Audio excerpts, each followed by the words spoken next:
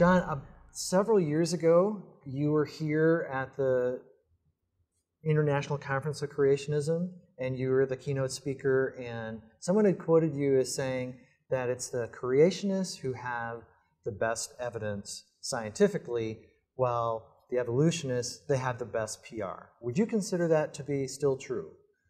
You know, when I say that the evolutionists have the best PR, they, have got this propaganda machine. They've got the school systems in particular. Right. And they've got access to the news media.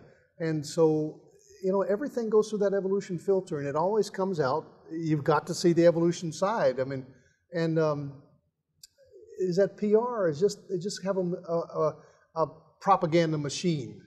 They can communicate, whereas we have churches, we have some churches, um, you know, but we have it, some it, PR, right? yeah, it but doesn't they have like through. the newspapers, all Yeah. the magazines, the universities. But yet, as a it's all- scientist, we do a lot of research there at, at the Institute for Creation Okay, Research. and right. man, every time we look down a microscope or every time we go out to Grand Canyon and look at the rocks, man, we see stuff that, that just supports creation.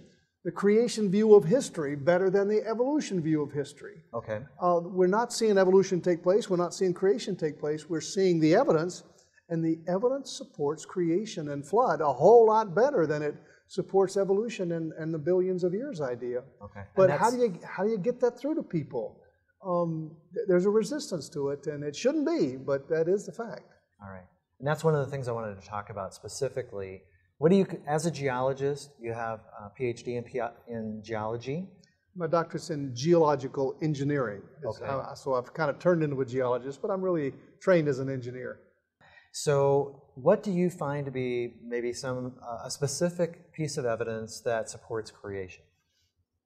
You know, from a geology perspective, uh, involved in the creation evolution controversy, I've got to be involved in Noah's flood. I mean, that's the, that's the key. Right. In fact, I really think that the flood of Noah's day is the key to understanding creation evolution. And I'll tell you why. If, if, if, uh, if, if you ask an evolutionist, where's the evidence for evolution? Where's the evidence for the millions of years? They say, oh, it's in the rocks and the fossils. Well, but the more I study the rocks and the more creationists do research, you know, the rocks really point to a massive water catastrophe that laid these sediments down quickly. And now the sediments have hardened into sedimentary rock, or these, these great mega volcanoes and, and super faults and stuff that, are, that can only happen, they don't happen today. Uh, if, if it's, you know, it's, it's something was different going on in the past. And that was a major world convulsing catastrophe. That the Bible speaks about that and says that the world that then was being overflowed with water perished in 2 Peter chapter 3. Okay. And we're looking at the destroyed remnant of that original created world. And then the fossils. Boy, the fossils. um, to be a good fossils guy, you got to be a biologist. I'm a geologist, so I, but I learned a lot by studying fossils, and I've written on the fossils now a good bit. And and the fossils, the one thing the fossils show better, th- it's not that they don't show evolution, and they certainly don't show evolution. If evolution is true, then you'll see a fish over the generations gradually growing legs to become an amphibian that can walk out on land. Mm-hmm. You don't see that in the fossils. And well, that's between every major type of animal. You don't see that. You see fish and you see amphibians, you see different kinds of fish and different kinds of amphibians, but they don't change. I mean, they're the same. They either remain the same from when the fossil was laid down to the present, or else they go extinct. And are your two choices. What you see in the fossil record, the main, main feature of the fossil record is what um, was termed stasis in science. That's a Greek term that means stay the same. It's stationary, it's static, it stays what it is. That fish stays a fish, and every time a fish has babies, it's a fish. And when that fish grows up and has babies, it's a fish. And when that fish grows up and has, it's a fish. It stays a fish. It's stasis, and that's what we see in the fossil record. But every kind of animal, mm-hmm. every just everything stays the same. Stasis. That is the big observation of the fossil record, and that's exactly what we'd expect it to be if creation is the is the mm-hmm. fact of history. Okay. Now there is some change. There's some mutation. There's a lot of adaptation, but this fish may adapt and change a little bit. But it's still that kind of fish, and it's still interfertile with that kind of fish, and it stays the same. It's stasis. Right. That's what we see. We don't see evolutionary change. What we see is the opposite. of evolutionary change. Okay, one of the things you had mentioned is extinctions, and that you know there's a lot of extinctions. In fact, the evolutionists would say, I've heard them say that uh, there are like like uh, 99% of the animals that ever existed are extinct. I'm not sure if my quote is exact on that, but anyway, they would they say that there's a lot of extinctions, and and then they would go on to say, well, so if there is this God, isn't he, you know, just kind of like in a trial and error type of period? Why why are there all of these extinctions, and how does that support creation?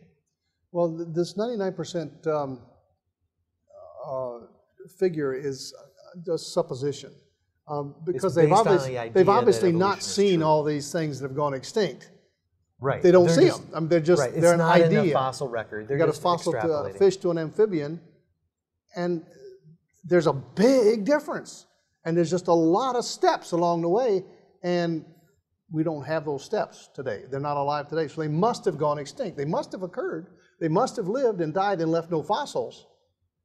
Isn't evolution wonderful? I mean, it's all based on something they The don't story, see. yes. they It just is a don't see. story. It's it's uh,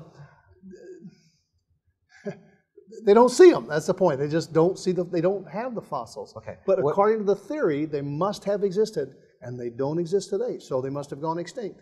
Okay, now, but they would give the assertion that well, isn't God, if you know, if God exists and we have all these extinctions, then isn't He just kind of doing a trial and error sort of thing? How do you respond to that? You know that would be the case if. In fact, I, I tell my Christian friends who tend to believe in theistic evolution, I say you're proposing a God who is this trial and error, hit and miss That's right. uh, sort of God. And no, the God that's described in the scriptures is one that he has all knowledge. He's omniscient and he's all powerful, omnipotent. He knows what he wants and he can do it. He doesn't have to wait around with all these trials and errors. In fact, you think about it, um, in, in theistic evolution, why did God create the trilobites if they were going to be extinct before man even got here? You know, we, we've got their fossils, we've got a lot of fossils of trilobites, but was he looking for something he could call his image? And well, trilobites didn't work out, so let's, oh, here's some dinosaurs. They're kind of cool. Yeah. Maybe that, maybe T Rex, he'll be my image. Uh huh. Nah, better not. Oh, there's an ape. No, not. Oh, there's an ape with no tail. I'm going to call him my image. And, and that one stuck. Now, is that the kind of God we worship? No. God knows what he's doing and he's powerful enough to pull it off without making a lot of blind alleys. Um, I think theistic evolution, it's neither theistic it's, and it's not evolutionary. It's uh, Christians who believe in an omnipotent God ought to know better than to believe in evolution, any Well, kind of the of fact of the matter is, as creationists, we believe that God created in the six days and that He created uh, animals after their own kind, right? And then there was the flood, and it was through the flood that we have all of these extinctions. Am I right? It's through the flood that that's why we have the extinctions. It's not that God was doing a trial and error uh, sort of process, but it was through the, the flood. We, there was probably a lot of animals died. Well, don't overstate the extinction idea. Okay. Fish to amphibian, there's a lot of in between steps. Evolution says all these in between steps are extinct. No, maybe they just never existed. And so they're not extinct. But fish are still here, and amphibians are still here, mm-hmm. and varieties of each. If, if you look at the fossil record and set down all that array of animals that we see in the fossil record, compare them to the array of animals alive today, mm-hmm. and the majority are still around. Mm-hmm. They're still the, around. But the fact of the matter is, trilobites are, are extinct. There are a few There- animals that have there gone are extinct. animals and, that- that and extinct. sometimes evolutionists say extinction proves evolution. No, it doesn't. Evolution is all about the, the gaining of new animal types and the gaining of new Mm-hmm. That's right. features and new body parts. It's new stuff. Extinction is all about losing what you got. Right. Extinction is, again, the opposite of evolution, and that's what we see. To the extent that we see evolution, that's the opposite of evolution. Thank you. Thank you.